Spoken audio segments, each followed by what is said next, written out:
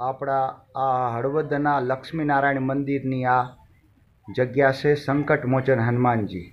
અને હળવદ લક્ષ્મીનારાયણ મંદિરના પૂર્વ મહંત એક હજાર આઠ યોગેશ્વર રામ બાલકદાસજી મહારાજની અઠ્યાવીસમી પુણ્યતિથિ નિમિત્તે આ કથા સત્યાવીસમી કથા છે એમના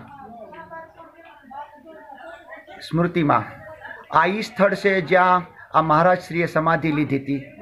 અને બાલકદાસજી બાપુ ભારતના પ્રસિદ્ધ રામાયણી હતા. બહુ વિદ્વાન સંતમાં એમની ગણતરી થતી હતી.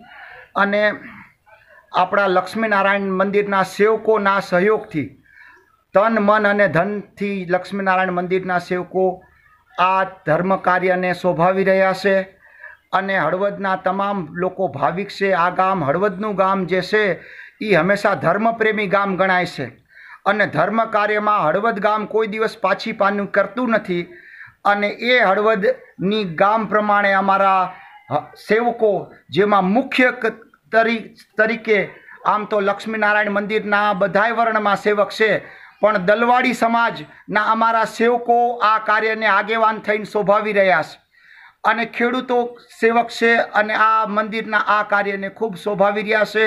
આ રામકથા હોય કે ભાગવત કથા હોય આ જગ્યા ઉપર જે પણ કોઈ આ કથા દરમિયાન આવે છે એ તમામ શ્રોતાઓને પ્રસાદની વ્યવસ્થા આ મંદિરના સેવકો તરફથી કરવામાં આવે છે. અને આ નિમિત્તે હું તમામ લોકોને આ કથામાં પધારવા વિનંતી કરું છું. અને આ ન્યૂઝ ચેનલનો ખૂબ ખૂબ આભાર માનું છું કે આ કથાનું દર્શન લોકોને પણ કરાવ્યું અને સામાન્ય લોકો સુધી આ કથાને પહોંચાડી. ખૂબ ખૂબ ધન્યવાદ. સૌને નમસ્કાર. જય સિયારામ.